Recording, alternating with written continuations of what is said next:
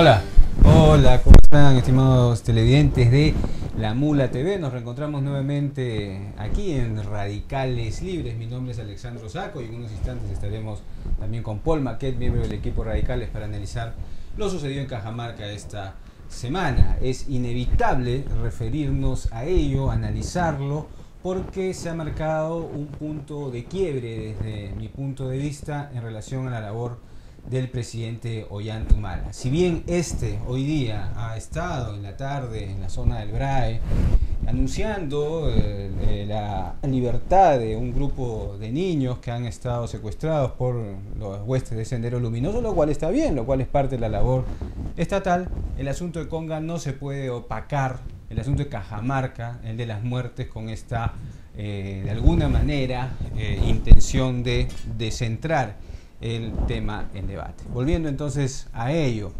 ¿qué ha pasado para que lleguemos a este extremo? ¿Es solamente un asunto de una empresa que quiere sacar oro de un lugar o hay cosas que no estamos viendo y que pueden ser mucho más eh, profundas? Vamos a llegar a ese punto. El señor Santos del gobierno regional de Cajamarca ha aceptado que haya un diálogo el día lunes, también el gobierno lo ha hecho a propuesta del presidente de la República, pero surge un problema ahora entre el mediador. El gobierno propone al monseñor Cabrejos y eh, el presidente regional a Gastón Garatea, porque ya habían llegado algunas negociaciones. Eso tendrá que resolverse durante el fin de semana. Otra de las condiciones que pone el gobierno regional, la protesta, es que se levante el estado de emergencia que suspende las garantías constitucionales. Garantías que como vemos en estas imágenes que van a pasar al costado nuestro en estos instantes, han sido ya eh, violadas antes del estado de la emergencia. Ahí podemos ver cómo se eh, ha utilizado las balas en esta protesta. Y para que la policía haya optado por el uso de las balas que han matado por lo menos a cinco cajamarquinos en Bambamarca y Selendín, tiene que haber, tiene que haber habido una condescendencia desde los más altos niveles de gobierno y una autorización, una displicencia de los ministros encargados, el ministro de Interior, el primer ministro, para que se opte por utilizar las balas, no de goma, sino las balas de plomo que han acabado con la vida de cinco cajamarquinos. Y ese es el asunto.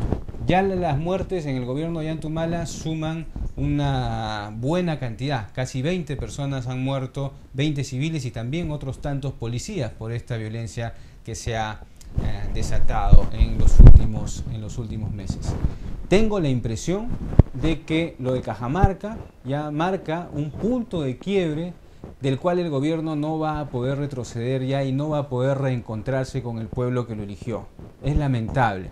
Quizá las otras experiencias de violencia eh, por mal manejo y también por protestas en los últimos meses no tenían el efecto simbólico tan desgarrador como el caso de Cajamarca por una serie de asuntos. Y en ese sentido vamos a mostrarles un video que por la expresión que suelta el policía puede explicar qué hay detrás de la mentalidad de la represión y de la protesta. Miren este video, por favor, y luego de eso hacemos la segunda parte muy breve de, este pequeña, de esta pequeña introducción. Adelante con el video del policía que responde a una pregunta de una mujer en la Plaza de Armas de Cajamarca.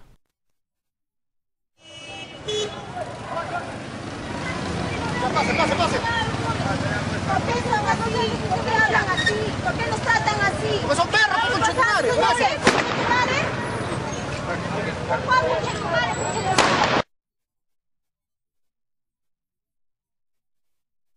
completo se vio la parte en que le responde.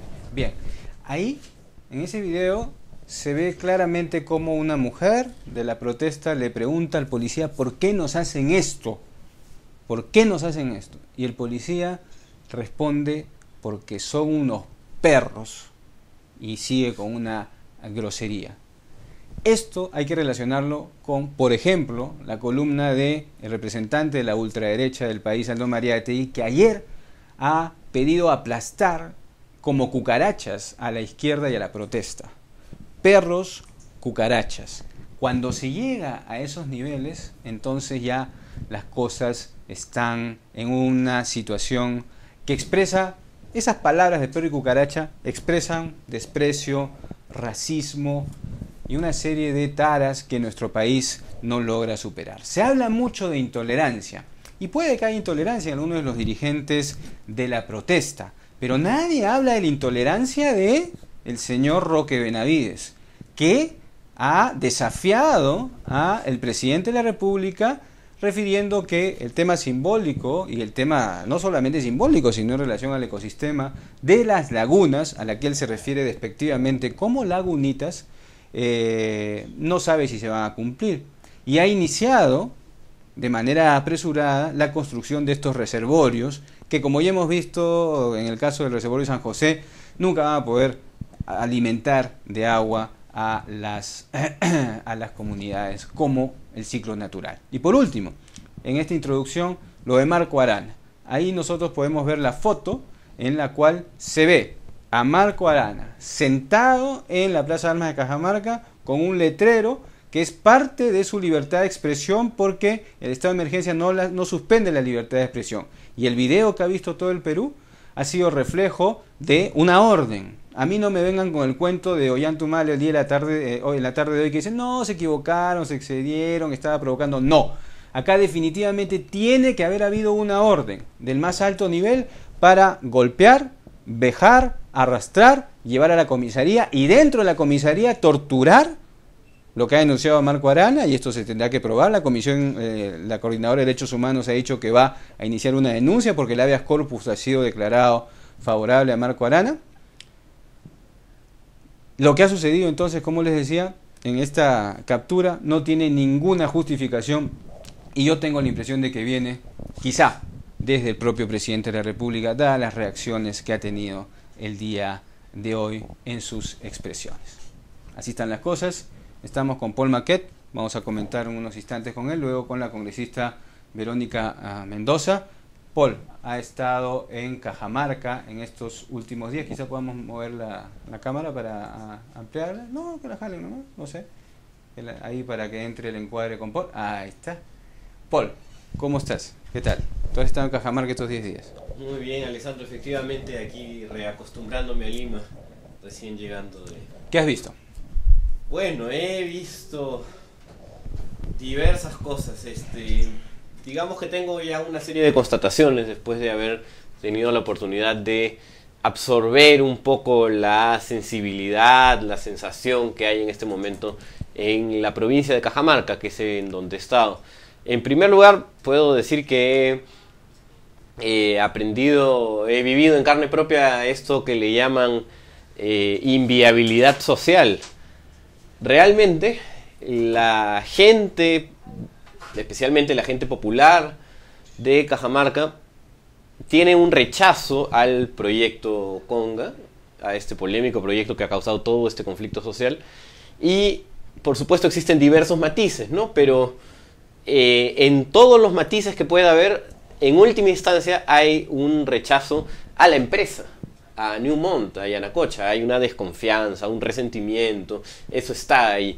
Eh, yo he ido, te este, cuento, yo he ido en otro plan, en plan muy personal, este, digamos de paseo, y he estado preguntando, preguntando, preguntando al taxista, a la vendedora del mercado, a la vendedora de frito con ceviche, a de la mototaxi, y realmente hay una sensibilidad muy en contra del proyecto que nos van a quitar el agua, qué vamos a hacer después, qué va a pasar con nuestros hijos y una desconfianza muy marcada. No creemos lo que dice Yanacocha, una duda de lo que dice el Estado y eh, de hecho hay una solicitud en todos los idiomas que si se llega a realizar el proyecto tiene que ser, el Estado tiene que ponerse muy firme y hay una desconfianza sobre esa firmeza.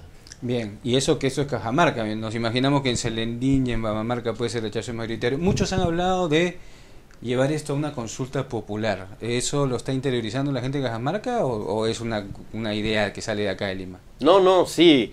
Además, este es la, la salida que muchos allá ven como más viable, ¿no? Ya se realizó un peritaje en el cual no se pudieron ni siquiera poner de acuerdo en los términos de referencia, se realizaron peritajes alternativos, se suspendió el proyecto, se reanudó el proyecto, se hizo un paro, se hizo otro paro y ahora muchos empiezan a decir que la única solución vendría a ser una consulta, ¿no? Yo he escuchado eso en distintos sectores. Una consulta popular. Bueno, esas son algunas de las alternativas que el gobierno va a tener eh, que barajar. Yo creo, Paul, que el proyecto Conga está viciado de origen por toda la trayectoria de Yanacocha, por la actitud de los funcionarios de Yanacocha, empezando por Roque Benavides, y porque muchos olvidan que para Yanacocha hacerse de la explotación de este yacimiento, no de Conga, sino de Yanacocha, hubo una coordinación con Vladimiro Montesinos, que hoy día ha recordado Raúl Vines. Es decir, lo que ha dejado Yanacocha ambientalmente también tiene un asunto de corrupción emanado las negociaciones entre el presidente de Newmont y Vladimiro Montesinos, que están registradas en los Vladi No sé si tienes algo más, Paul, hasta, hasta comenzar con, con Sí, yo me pregunto efectivamente qué hubiera ocurrido si el proyecto estuviera en manos de cualquier otra empresa, de Goldfield, de las otras empresas que operan en la zona.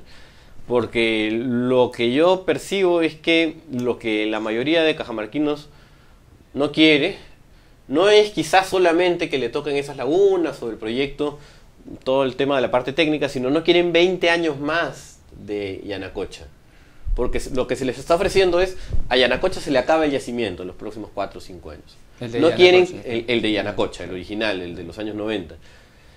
La gente no quiere 20 o 30 años más de la misma empresa. Es una empresa que, como dices, ha cometido actos de corrupción, ha derramado mercurio, no ha reconocido sus errores, no ha cambiado a su plana gerencial, el señor Santa Cruz sigue ahí desde los años 90, lo que demuestra pues que a los dueños de Newmont no, les interesa un pepino la buena relación comunitaria, porque no cambian a sus caras visibles. Más que Newmont, yo creo que Buenaventura, ¿no? Porque bueno, Newmont es el accionista principal, pero el que sabe cómo es el asunto es Buenaventura, o sea, Roque Ambos, ambos. Y bueno, el otro aspecto es el de la persecución, ¿no? Eh, digamos, los que han visto Operación Diablo, los que recuerdan la investigación de la República hace unos años, esta empresa bueno, la empresa contratista, ¿no? Forza, realizó un seguimiento. Son unos espías y e, ese nivel de seguimiento no puede haberse realizado sin un pago extra por parte de la empresa. Que me vengan a mí que fue cosa de hasta Hay, hasta hay muertes. hay, por lo menos hay una muerte. Hay una muerte que Marco Arana la ha denunciado varias veces. Entonces, así están las cosas. Vamos a conversar con Verónica Mendoza en unos instantes. Y lo otro es que eh, desde aquí le exigimos al presidente de la República que identifique a quién mató a más de 18 peruanos en los últimos meses. En otros países, como ya se ha comentado, por menos los presidentes salen del poder. Acá parece que la vida, no parece, la vida de algunos no vale nada, mientras que el oro de otros vale mucho. Yo les quiero recordar lo último antes de conversar con Verónica Mendoza. El oro en más del 80% de su producción en el mundo, ¿para qué sirve? Para hacer joyas. Para que alguien se ponga su cadena de oro en el cuello, su relojazo, su esclava o lo que fuere. No es un metal vital como el cobre, como el hierro, como cualquier otro para la vida. Es un metal suntuario, de lujo. Y la historia del oro en el Perú y en el mundo está marcada por la muerte y por la sangre de algunos que quieren llenarse los bolsillos, como ahora ciertos empresarios sobre la sangre de ciudadanos, lo cual es una pena. Hacemos el primer corte y volvemos con la congresista Verónica Mendoza, a quien lapidaron por sacar informes sobre la contaminación en Espinar para analizar la situación nacional.